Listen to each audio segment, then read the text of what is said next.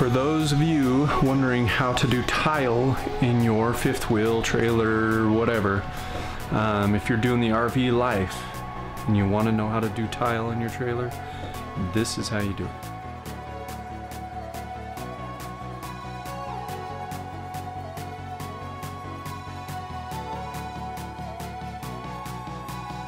All right, how's my hair? It's really good. So to start, we had this crappy little backsplash back here. Whoa, Oh, that helped a lot. that's a Just lot gives of a light. lot of really good light. But you forget. I always forget about that one. It's so. I'm gonna think twice about it. It is like real glass, though. That's nice of them. It's pretty hard to take off, if I'm totally honest. The paper or whatever. What are you even talking about? Wally. Ah! No!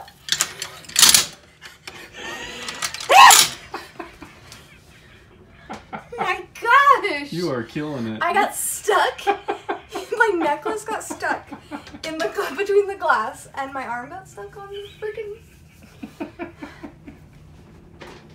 So on this one, don't I will kill you. Okay, they decided to use a lot of staples on this one. They only used two on this one. See, there was two. No, no, no. Please. I just gotta pry a little bit more. Come on, she man. I'm just gonna move on to this one. There are no rules when they put these together. Like this one had mm. two, this one has three, and that one's got like 12. Come on, Sheila. 12. Come on. Two, three, four, five, six, seven, eight. One, because I bet there's a lot on that one too. Oh my. There's three, five. So this is the halfway point. Sometimes you do. I like to mark it just to make sure, and then kind of wear it like a reference point. Then I like to kind of set tile out to make sure how it's gonna lay out. And then I can make a plan. Half because couldn't fit full one. What happened there? Mm-hmm. Is that broke? Or is that plastic? They seriously do. All have plastic on them. Look at that.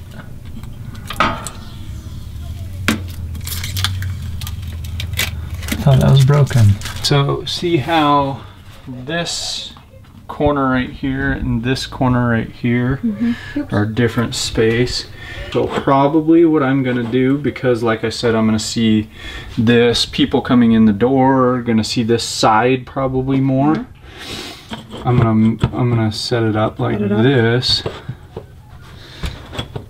And then have bigger small pieces right there. Bigger or small piece? Bigger small pieces. It's mm-hmm. easier to work with bigger small pieces than small small pieces.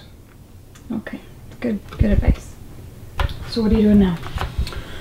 So this is a Acrylapro, Ac- Acrylpro ceramic tile adhesive. I like to get it going all the same direction if I can. On those lines. And then it forms a suction for when you put it on the wall.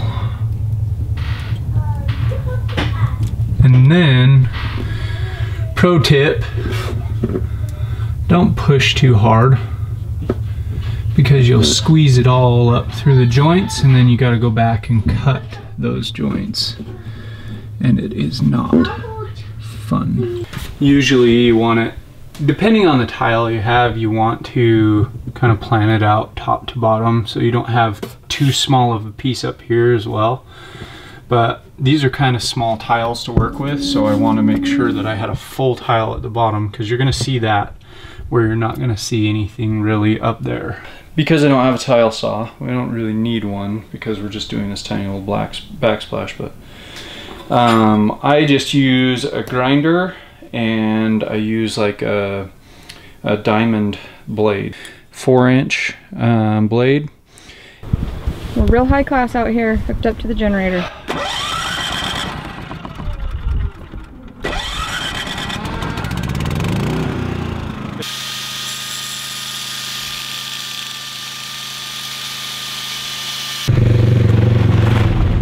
Whoa! You're I so went cool. squiggling. Yeah, you did. Oh my gosh, you are killing me. Stop it. A videographer.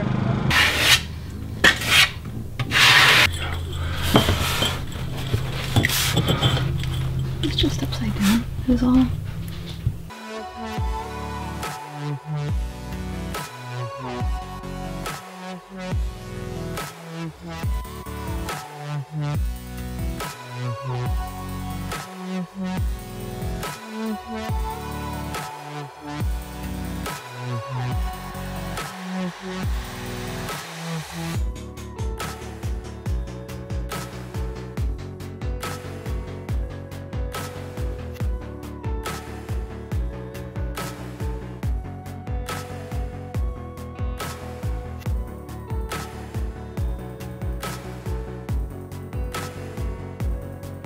Anyway, this is how you do the grout. Got the pre-mixed grout. It's ready to use, no mixing, no mess, stain resistant. I like the stain resistant. It's kind of like an epoxy grout almost.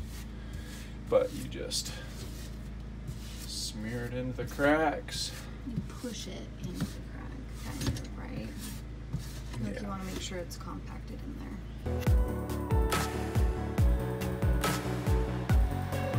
So, first wipe, I usually just kind of go over it and get everything kind of smoothed out.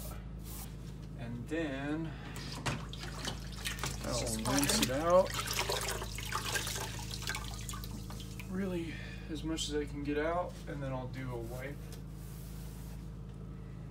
and get and then for the edges, I usually just take like a little bit and I'll put it in there like so. You know, you think the project's end, and then you buy an RV